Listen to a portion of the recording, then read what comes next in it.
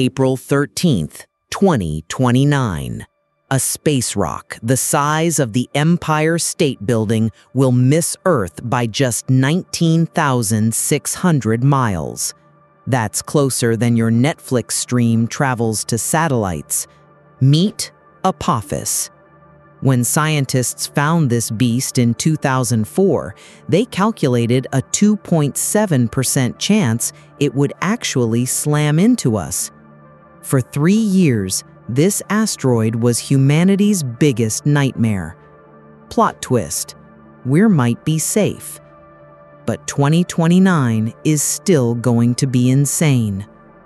This thing will zip past Earth so close that our planet's gravity will literally bend and twist it like cosmic silly putty. It'll change how Apophis spins forever. And get this, you'll actually see it. No telescope needed.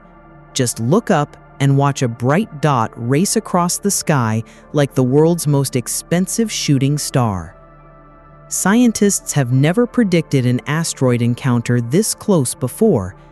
It's like having front row seats to the universe's most exclusive show.